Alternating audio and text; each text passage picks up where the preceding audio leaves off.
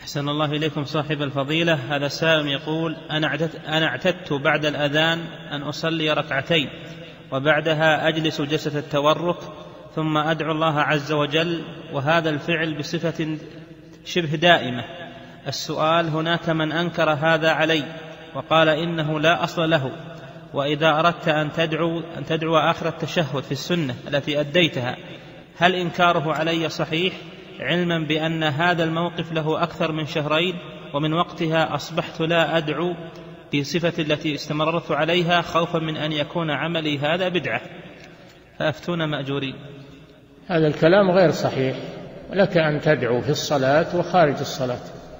لك أن تدعو الله في الصلاة النافلة والفريضة وخارج الصلاة.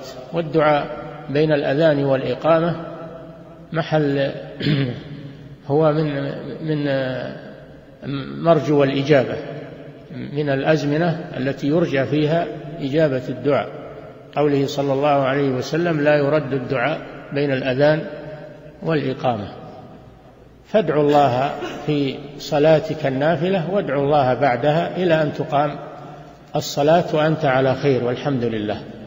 نعم.